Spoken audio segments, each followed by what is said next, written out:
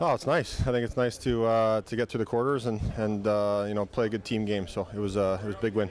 No, no, it's a you know it's a good skilled team over there, quick team, and uh, you know we just talked about having a good start, and, and we did that in the first period. We got some you know some big goals early in the game, and, and kind of put them back in their heels, and and uh, you know carried it from there on through.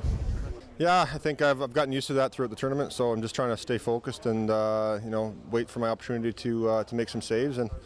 Um, like I said, it was, it's nice to play with the lead. It takes some pressure off, and and uh, uh, like I said, nice to get through the quarters. Yeah, I'll, I'll probably tune in and, uh, see how that game goes. But uh, you know, we've talked about it all, all, tournament long. It's it's about us and about what we're doing, and I think we've got a good handle on our game right now, and we just have to uh, you know stay focused on that. It, it, doesn't matter to us. I think it's like I, I just said. I, it's it's about what we're doing, and and uh, you know they're all going to be tough games now, so it'll be exciting hockey.